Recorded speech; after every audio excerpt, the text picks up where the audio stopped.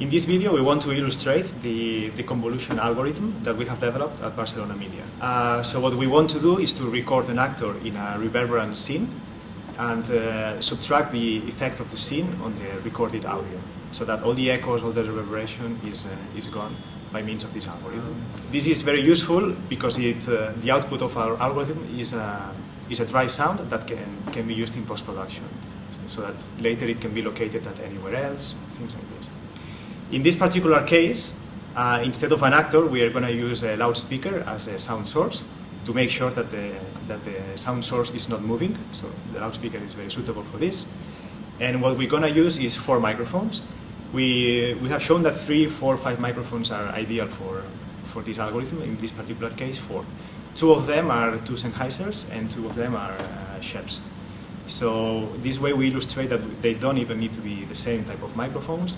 They don't even need to be perfectly equalized, and actually they can be located anywhere in the scene, so that uh, there is a lot of freedom in the recording stage.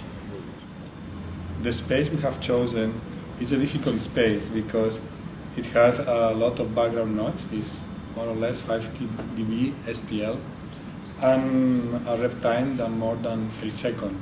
So it's a very difficult space for having good sound.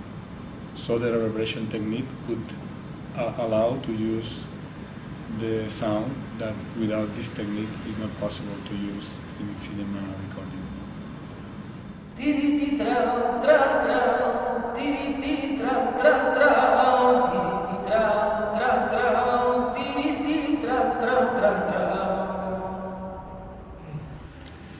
Either before or after shooting the scene, our algorithm needs uh, a computation of the acoustic characteristics of the scene.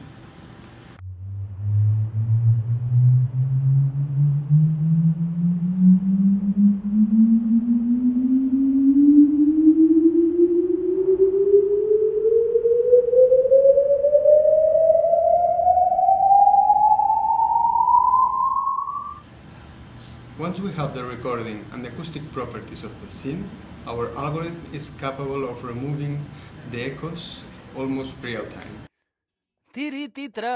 Tran